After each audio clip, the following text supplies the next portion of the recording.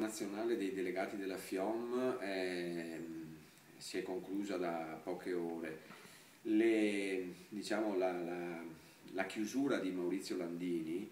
è stata tutta incentrata eh, da un lato sul eh, ribadire quelle che sono le ragioni che portano allo sciopero generale del 9 di marzo e che portano in generale la FIOM a trascinare anche la CGL, a tentare di trascinare la, la CGL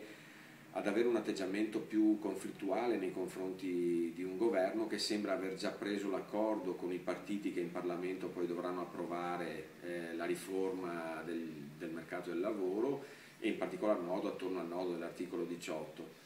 Eh, Landini ha, ci ha tenuto a dire che appunto questo sciopero è anche frutto di una eh, condivisione all'interno della CGL e in questo io credo bisogna leggere invece il fatto che Landini chiama alle sue responsabilità un sindacato eh, che dice appunto di voler difendere i diritti dei lavoratori eh, in, in, tutti i suoi aspetti. E anche per questo è evidente che eh, Maurizio Landini ha giocato tutta questa assemblea sul terreno della costruzione di un'iniziativa che va ben oltre il 9 di marzo, che inizia il 9 di marzo ma che che si deve dipanare poi attorno al nodo dal punto di vista sindacale della costruzione eventualmente di uno sciopero generale di tutte le categorie di otto ore. Però l'altra parte del, dell'intervento di chiusura, come era stato anche per quello iniziale ma anche in, in proporzioni maggiori, è stata dedicata ai temi che riguardano la piattaforma sociale in realtà che è gran, la grande questione eh, che, eh, di, di, di, questi giorni in verità. Una questione che per esempio vede il governo giocare con eh, una figura assente in termini di rappresentanza, cioè la precarietà giovanile, e giocarla contro le rigidità, tra virgolette, di diritti e di tutele che erano stati stabiliti e conquistati attorno naturalmente alla cornice del contratto nazionale di lavoro. Siccome la cornice del contratto nazionale è eh,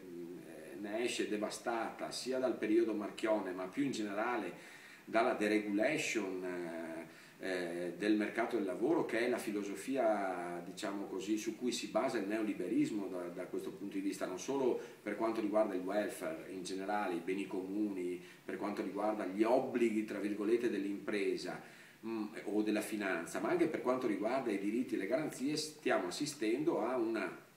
sostanziale deregulation che significa poi togliere quella, eh, anche politicamente, la responsabilità sociale dell'impresa, ma significa anche consegnare a una dinamica di mercato la regolazione possibile del conflitto tra capitale e lavoro. Cosa questa che evidentemente ha già dimostrato che cosa, che cosa può far accadere eh, e mi riferisco al fatto che ci sono 46 tipologie contrattuali diverse oggi per un numero sempre crescente di lavoratori e lavoratrici precari eh, e questo, eh, le 46 tipologie di contratto sono state introdotte dalla legge Biagi dopo la legge Treu eh, e questi erano i tentativi di dare diciamo così, un vestito a ciò che il mercato già faceva, a ciò che la Costituzione materiale del lavoro già produceva